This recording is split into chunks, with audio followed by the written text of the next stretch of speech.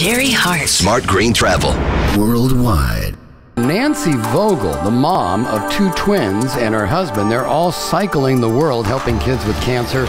We, we started up in Prudhoe Bay, Alaska, up on the shores of the Arctic Ocean in June of 2008. So hmm. we've now been on the road a little over two years, and we're in Bolivia at this point. We're about 500 kilometers or so from the Argentinian border.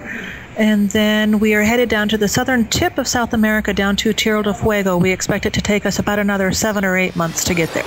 On the bikes, we are. We're out there, and we're we're with Mother Nature all day long. And and I was talking with another friend of mine who's also a bike tourist, and and she said, you know, I just feel so alive when I'm out on my bike. And I think that's a good way of putting it. Mm. That that when you're outside and you're in nature and you're you're seeing the world as it is without being protected in this metal and glass cage.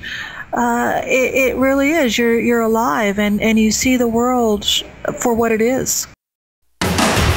Hey, thanks for listening to Smart Green Travel. You know, did you notice there's a lot of fun going on here and a lot of purpose? Come on over to hartofgreen.com and let me know how I can communicate with you. Is it Twitter? Is it Facebook? There's iTunes, right? Take us to work, put us in your car. Let's go. Jerry Hart is talking about getting to the heart of what's really helping people go green. Nothing lasts forever but the earth and sky. Want more? Hey, click on over. Let's go hear more of what you just heard. Yeah, I know how this works. Don't tease if you can't please. Are you ready? Smart, smart green, green travel. Jerry Hart. Jerry Hart.